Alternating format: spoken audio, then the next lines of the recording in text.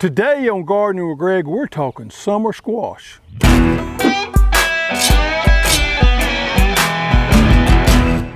One of the first things that comes in in the spring garden is summer squash. Man, do I love them.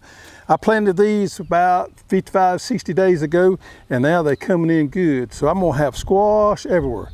The two varieties I planted this year is Gold Prize and Golden Delight.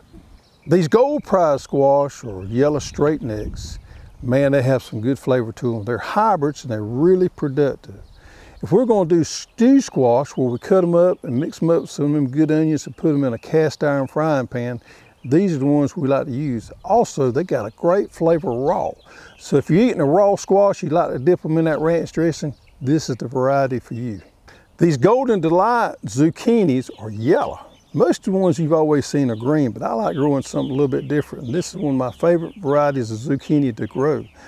Of course it's yellow, but the fruit is always pretty consistent and these make great frying squash. It's a hybrid and there again, they're really productive. So you can slice them up and all your slices are, are pretty much the same and they're easy to get up, slice up and put in that frying pan and fry you up some good squash. Bees and pollination are really important growing summer squash and being successful at it. Now the squash plant has two different blooms on there. It has the male bloom and it has the female bloom. The male bloom normally grows up higher and it doesn't produce any fruit. The female bloom is the one that produces the fruit. Now when the bee comes to the squash plant, he goes to the male flower first and does his business and gathers his pollen. Then he goes to the female flower and that's where your fruit comes from. So the bees have done their job and I got a nice squash there and you can see where the bloom is falling off.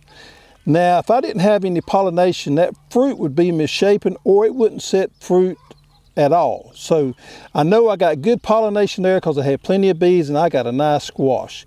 Now this is the size right here that I like to harvest them at because they're nice and tender and they make some good stew at that point.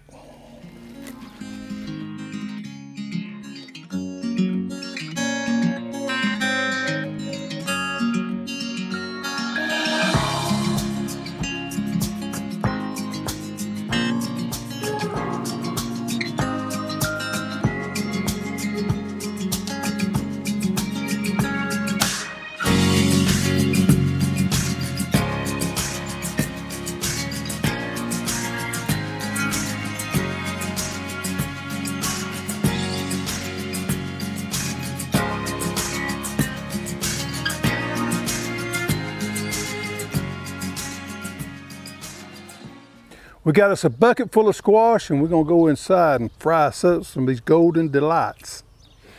Now I like to use a good peanut oil when I'm frying my squash. Now take you a small paring knife, cut them ends off and go to slicing.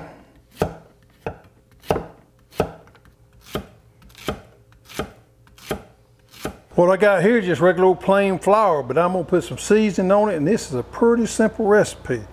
Now I like to use me some Cavender's, so I'm gonna dust them down good with some Cavender's. A little garlic salt.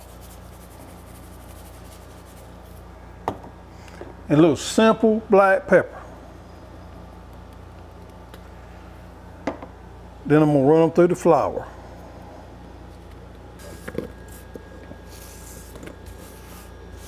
Got to put a little more Cavender's in there. Mix them up good in that flour and get them dusted well, and we about ready for some grease. Put your little pinch of flour in there when it dances around, you know you're ready. Do some cooking.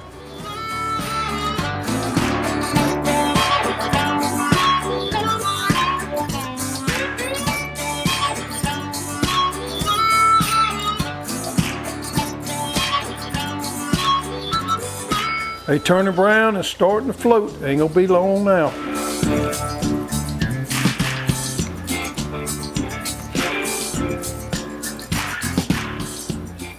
After you let them drain on paper towel a little bit, it's time to put that ranch dressing on there.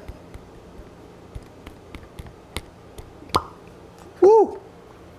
And then you find you a big old shade tree where everybody leave you alone. You get your big old glass of ice water You run them through some of that ranch dressing. Mm. That's good.